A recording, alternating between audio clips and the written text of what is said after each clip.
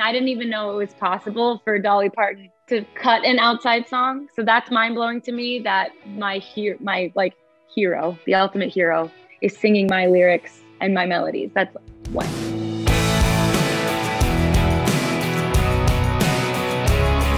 Hey, it's your girl Emily Curl, and today we're hanging out with a country music singer and songwriter someone I'm a huge fan of. Let's welcome in Caitlyn Smith. Caitlyn, thank you so much for being here. Hello. Thanks, Emily. Thanks for having me today, dear. How are you today? It looks nice and bright in your space. The sun is shining today. It's a magical day. I'm in Nashville um, about to just go into a session. So it's a great day. I first want to kick it back and tell you a little bit about when I first discovered you. It was listening to Before You Called Me Baby, This Town is Killing Me, Cheap Date on your debut Aww. Starfire album, which I loved. and then you go and wreck me and you drop Supernova, which was so good. Tell me you. a little bit. How did your process differ from the creating of your first debut album to then creating Supernova? Yeah.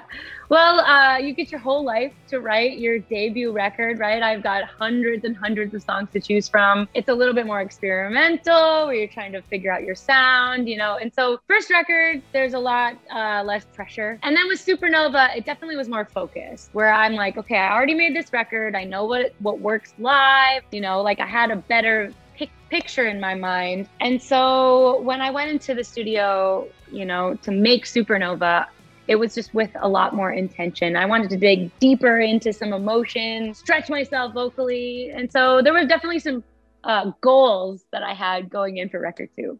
Yeah. I want to go back for a second. It's interesting you said you found what works live. What works best for you live and what's the most fulfilling show to play for you live? Well, I am a very dynamic singer. I can't help but sing from my toes. And so um, for me, it's really those those big moment songs. I think you know this record, Supernova, is very it's very dynamic. There's songs that are you know like they go really tiny and then there's these soaring choruses. So i, I was just i was playing around with um, you know with all of that. You also have an incredible collaboration on there i can't with old dominion. So good. How did this collaboration come about? Well i dropped my record supernova on march 13th 2020 perfectly timed with a global lockdown. And so, you know, no one was paying attention to music. So we just decided, okay, let's try and just relaunch this record in the fall when it makes more sense. And so, you know, I decided then to, um, I wanted to add a collaboration, I wanted to add a cover, just put a couple more things on the album. And so I sat down with Shane McAnally, who's the head of Monument Records, my record label, and we kind of threw some ideas around. And he was like, "What about Old Dominion?" And I was like, "You can ask them; they're not going to say yes." Like I they've never done a collaboration. So he asked them, played them the song. They loved it. They hopped on, and the rest is history. So thanks, Old Dominion.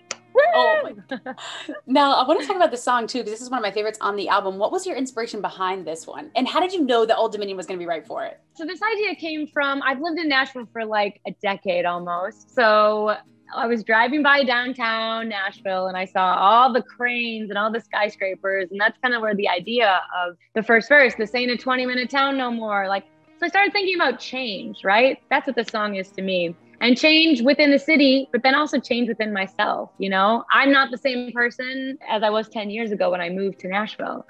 And so I started thinking about change and how sometimes when we come up against that moment of like, wow, I really need to get over this person, I need to fix something, I need to move on. Like it feels like that moment of like, oh, I know I need to do this. It can feel like, I, but I can't. we all know that feeling, right? Yeah. Oh, for sure. What would you say is the biggest change that you've noticed, especially for artists and songwriters and creators like yourself? I mean, Nashville is totally different than when I moved here, you know, and it used to be very music row focused, which was just like two main streets in Nashville where all of the publishing houses, all of the lawyers, all the labels, they were all on these two avenues. And as the years have gone on, you it's just kind of expanded out from that. Where now most people are writing, you know, in their home studios or, you know, it's kind of all over. And so it used to be where everyone would go write their songs on Music Row and then we'd go down to the bar and we'd all drink together and like There, it was way, way a simpler closer time. yeah, it was clo- closer connected too. yeah. Um, and I feel like it is a lot more spread out. But man, it's, the community's still here, um, and magic still happens here. So I don't know. yeah. I mean, and you're talking about doing a, a, session after this, a songwriting session. What does your process look like? And does that always come naturally to you, or is it something that you've had to develop a style as you've grown? I am still learning. I will learn until the day I die. It is something that you practice, right? I feel like writing is like a muscle. And so, one of the biggest things I've learned as a songwriter, trying to pitch songs and just trying to create, right? It's just showing up is the most important thing. But I'm still growing and changing and trying to figure it out. Aren't we all, you know? That's life. But now some of your songs have been penned by Dolly Parton, James Bay, John Legend, Meghan Trainor, which those are huge names to say the least. What is it like seeing names like that too sing your music? I'm sure that's a surreal feeling. It feels not real. I feel like that's a joke bio. I feel like did someone just make that up? That's pretty cool. It's the biggest compliment where you create something and someone else loves it enough that they want to like sing it every night. That's crazy to me. Is there a song that you've written that you wish you would have kept for yourself? I am going to say no because if I love it enough, I'll just record it too. I don't really think I don't really have a problem like also releasing it. I think people like to hear the songwriter version.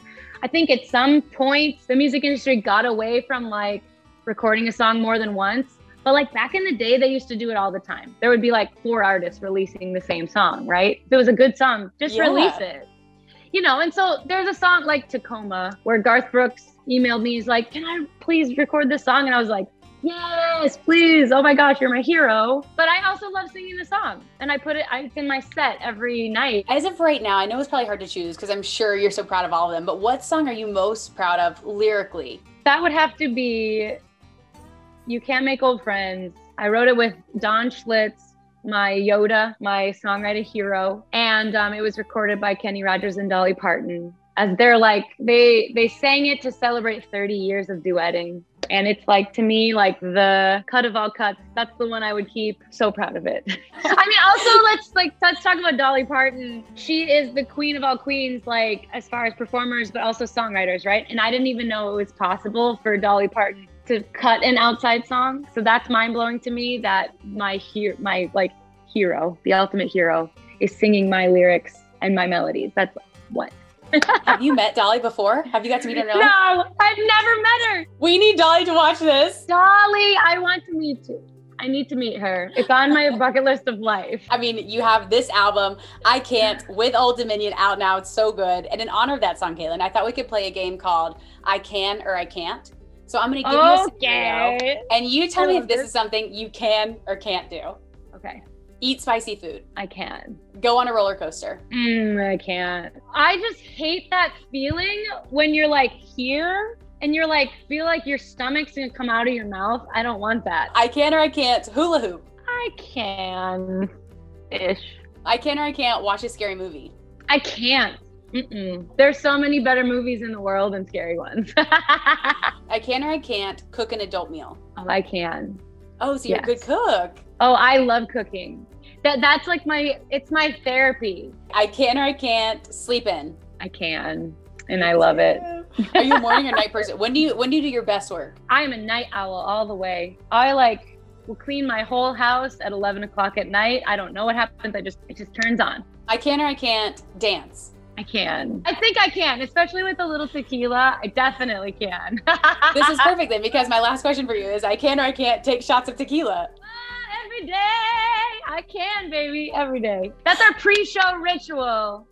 Really? Shot of tequila. Yes. What's what is it? Is it Casamigos? Is it Patron? What what's the? Both of those, whatever they have. I mean, but I'm like a tequila silver. Now, before we let you go, as we gear up for 2021, what is next year? I know you had to pause a tour last year, but can we expect a tour, shows, music? Fill us in on everything this year. Well, I am just starting to go into the studio to work on CS3. I'm working my next record, so excited. Fingers crossed. I think we're going to have some new music within this year. And then also, some very exciting tour information is about to come into the world, hopefully in the next month or so. But there, we are back, baby. Summer and fall, expect us to be out into the world. and see you in person. I'll obviously be there. and then you wait. have to come see us at our iHeart Studios next time you're in I, New York. Cannot wait. I love New York. I live for New York. I can't wait to be there. That's going to be magic. Thank, Thank you, you, so much for being here. It's been so great chatting with you. Cannot wait for all that's to come. And hopefully, yeah, we'll see you again very soon. Awesome. Sounds good. Thank you so much, Emily. Thanks so much for watching our interview with Caitlyn Smith. Make sure you stream her album Supernova out now on iHeartCountry, and we'll see you next time.